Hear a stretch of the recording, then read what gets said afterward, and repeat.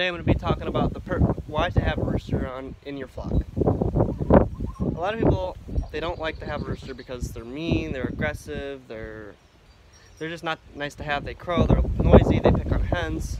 Well, the reason why you want a rooster on your flock is because he is a protector of your girls.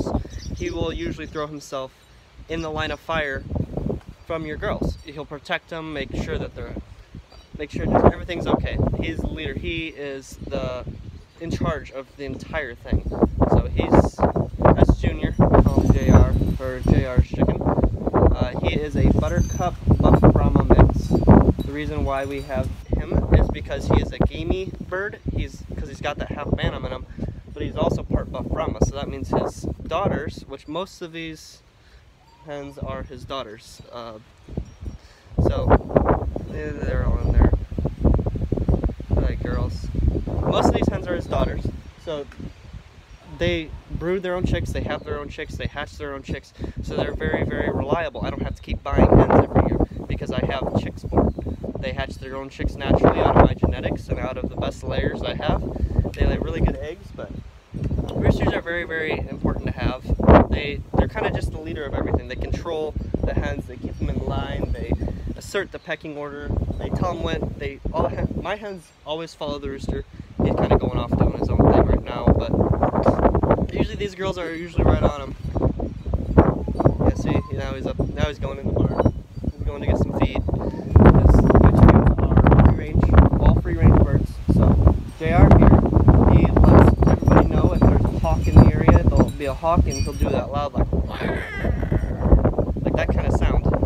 I try to imitate it the best I can, but they'll make that kind of sound. As you can see, the hens are like, what? They're kind of all frozen because they're like, oh. So they'll do like a warning call, and that helps protect your hens too. They'll do a loud screech, and that usually tells the hens that there's danger, there's something in the area, uh, get under a tree, get a shelter. So that's why I have a rooster, and because it's nice to have a rooster, because you don't want too many roosters. Too many roosters will make your hens have bald spots or breeding spots. Their backs will be raw. You can see my hens are all, uh, you can see my goat in the way, but you can see that they don't have any bald spots or any broody spots or anything like that, but that's just because I have 10 hens and one rooster. I only have one rooster. Usually about 10 hens per rooster. That works out really well, but roosters will have their favorite hens. So one, if even if you have 10 hens and there's still one with a bald spot, that's probably the rooster's favorite hen. So just keep that in mind. Is it's not always because there's too not enough hens. It's also because it depends on your rooster a lot. Um, don't usually get like a game bird rooster. Like, well, mine's a half bantam, so he's kind of gamey and he's very flighty. But that's because he's half buttercup, and buttercups are usually a smaller, faster, more wild breed than a, say, like a buff Brahma or something. But you want a nice rooster who doesn't terrorize you and doesn't just take, like, if you come in to feed or collect eggs, he doesn't come off after you. Now, a lot of people are like, oh, that's terrible, I don't want that. You kind of do want that. You want them to be aggressive because if something, say a possum or a fox or something were to get in there, that rooster would go after them. That rooster would protect your hens and it wouldn't, it wouldn't chase the fox off. It wouldn't definitely kill the fox, but uh, would you rather have your rooster die or would you rather have your hens that lay eggs and can actually provide for you die? Hens are a lot harder to find than roosters. There's a million roosters in the world, but you always want a rooster to protect your flock and to just uh, make sure that your hens are safe and sound. As you can see, I have some, uh, uh, that's one of my red stars, and then behind her is uh, one of my Easter eggers right there. That's Easter egger. Um, and then underneath her is uh, Cinnamon Queen. And then I have a couple other, I have another Easter egger over here, and I have a couple buff Brahma, or light Brahmas, my bad. Light Brahmas, I used, they're inside right now. The reason why I have light Brahmas is because they are very, very sustainable breed. They, um, they hatch their own chicks. They're very, they're known to be very broody, and they're also known to be like a meat breed, a meat and broody breed. The only problem with light Brahmas is they are not fast. They are not, um, they can't get away from predators as my Easter eggers. Easter eggers are good layers. They hatch their own chicks. They forage. They're really good foragers. My chickens usually live off the cows or the goats. I also give them uh, slop feed. It's a mixture of grain. It's organic feed, so they only get that, which is that stuff. I have some whole corn in there right now, but that's what I feed them. But most of the time, they usually follow the goats or the cows around and eat the flies off them, horse flies, and all kinds of grain that the cows and goats get fed. So that kind of keeps them alive and it makes them go out and forage. And I got my chicken tractor out there that has my meat birds in it. But the importance for a rooster is just to really protect your flock, and you'd much rather have your rooster die than your hens. So there's my light Brahmas all coming out to say hi. These guys are sweet, but as you can see, they're fluorescent white, which is a terrible uh, trait to have for free-ranging birds because they are like a target. As in these guys, these guys kind of blend in more. They're a little more uh, wild color to them. And there's another one of my red stars. Red stars are really good layers. Uh, same thing with Easter eggers, but red stars, let's see if I can get you an egg. I'm on crutches. Um, I dislocated my kneecap. I'm trying to get a... But see, this is, they're a little dirty, but uh, this one is a red star egg, and this one is my Easter egg, is one of the Easter egg eggs. She's not um, a full Easter egger, as like I said, she is the daughter of JR, so she lays like a light brown egg, and then um, her mom, which is, I don't, that, uh, I believe that one's her mom, right there. And then those are, my Cinnamon Queen, as you can see, is a little bit lighter than my red stars. I only have two red stars, and that was because they came from a big factory farm, and the guy didn't want them anymore, so we took a couple of them. And red stars are, they don't hatch their own chicks. They're good layers, but they're not really a, um, a foraging breed. They're they're nice to have for egg production, but they're just um, they're not they're not self-reliant. They can't live off the live as well as uh, Easter egger or a gamey breed. You want a breed that will be able to go out and forage. Uh, I've noticed that we used to have Polish too. Polish are really good foragers as well. Um, our Polish were always outside. Right now they're kind of taking a break. They were out um, following the goats around. The goats went out to the back pasture. Now they're all going into the barn. Run! They all go into the barn because I have rabbits in the barn and they go underneath the rabbit cages and eat all the spilled rabbit feed. So that, that kind of cuts into their feed too. So my chickens very rarely actually get fed. They get their own grain um, here, but they also, most of their grain comes from the other livestock. So it, that's, it's very um, crucial because they eat it, so that way that grain doesn't go to waste. But roosters are just, they just kind of help everything. You just, you have a protector of your flock, you have a, a sound alarm, and then um, crowing. It's, it's nice to have, it's, I think I like crowing. A lot of people don't like crowing. If you lived in a subdivision, um, if you live in a subdivision, they also sell crow collars. Uh, I used to have a couple of chickens in a subdivision. Uh, I lived in a subdivision with my mom for a little bit, but we still had this farm. But I had a couple chickens there, and I had a rooster, and uh, he had a crow collar. It was uh, Velcro. It goes around their neck, but it's not like to choke them or anything. It's just um, when they crow, their neck their neck expands, and it's a big air pocket like right here, and it expands. So you put that there, so when they crow, it doesn't expand. It doesn't choke them. It doesn't. They don't go like like that when they crow. It just when they crow, it's muffled. It sounds. It's a lot of people say it's inhumane. Um, in my opinion, it's really not. But I mean, I don't put on my roosters out here because they're they're free range. I don't care if they crow.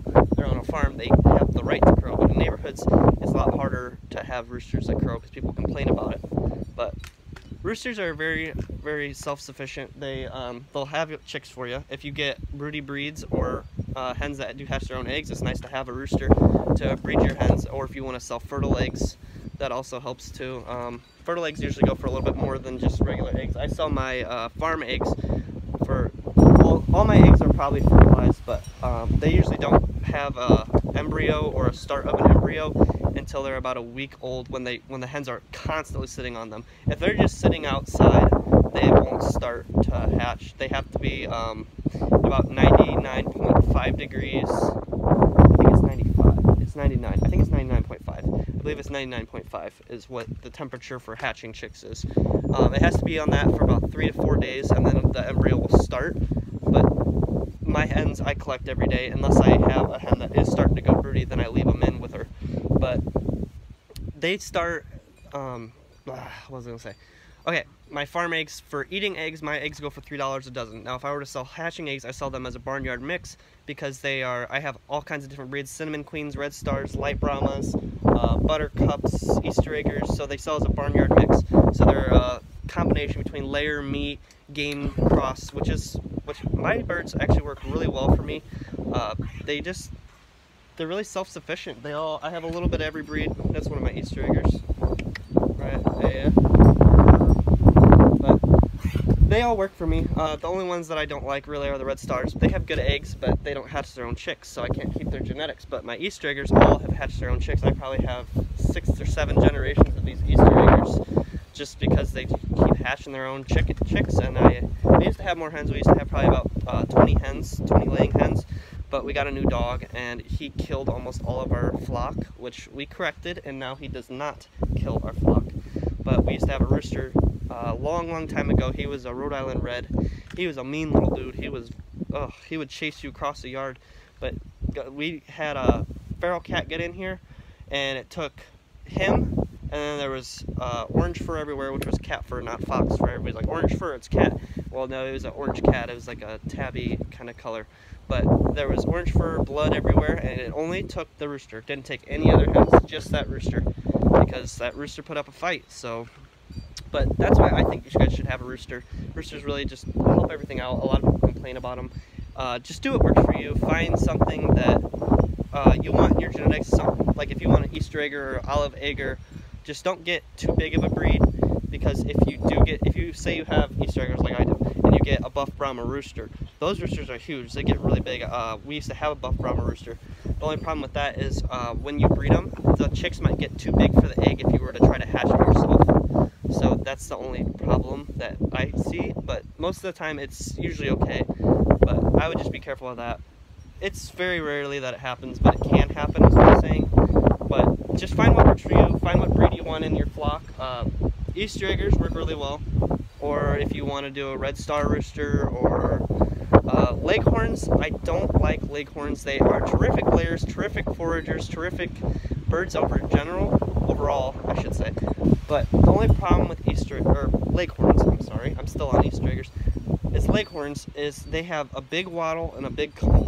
I live in northern Illinois, so we get winters, uh, decent winters where it does get below zero sometimes. Uh, most of the time it's usually around like 10 to 15 degrees in the winter, but their combs and wattles will freeze and they'll turn black and they'll fall off.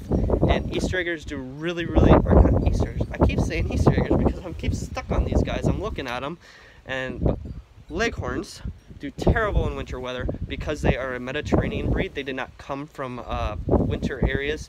Neither did uh, Easter eggers. I'm not really sure where Easter eggers originated from. I believe, oh, I can't think of where they came from, but Easter eggers do really well in the winter because they have a pea comb and they don't have a wattle, they have a beard. Uh, feather-footed breeds also do well in the winter because they have feathers on their feet. But none of my Easter eggers have gotten frostbite on their toes. Uh, their combs are pea combs, so they're really small over everybody's coming in. But Easter eggers do really well. These guys are all sunbathing over here. Hold on crutch over there. Hi, girlies. Yeah, they're all sunbathing, soaking up the sunlight. But uh, just find what works best for you. Uh, I very recommend having rooster on your homestead or if you just have free range birds. Uh, neighborhoods are tricky, so just be careful of that. Find what your um, township will allow if you live in town, but I live on a farm, so we have rooster. We always have had a rooster we we've never gone without a rooster because roosters are just great to have. They're protectors of your flock. They keep everybody in line. They tell the hens who's boss. They actually even um, they'll fatten your hens up too because roosters. Um, if you guys have had roosters in the past, you'll see them scratching around and then you'll hear them go like a. You can kind of see everybody's like, what? Ooh. They'll kind of make like a weird sound like that and that encourages the hen saying hey i have food for you. And they'll they'll hold it in their mouth. It'll be like a worm or a grub or a piece of corn or something like that. And um, that's that's them trying to feed the hens. They're giving it to the hens because they always watch over, over their hens before they do themselves. Let's see if i can like get these guy, girls attention.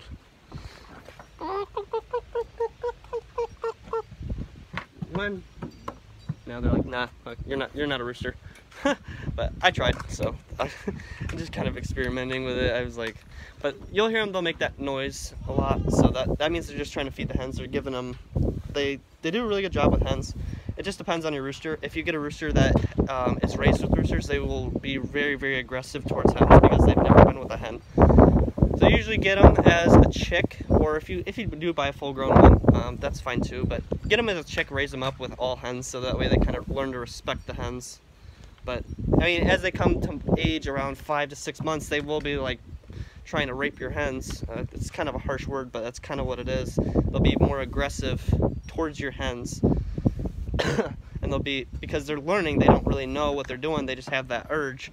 But they'll get better over time. Don't just, as soon as they're like six months, you're like, oh my god, he's tearing apart my hens. They will do that their first couple months until they actually learn how to breed successfully and how to actually do it correctly. So, but don't don't get discouraged if your rooster's ripping up your hens at six months. They'll learn, they'll figure it out. But if it continues, uh, then consider on getting another rooster or just you know keep them away from your hens or something like that. Um, but that's all for today's video. My rooster kind of dipped out on me. He went inside, but he he's teaching the hens all these bad habits.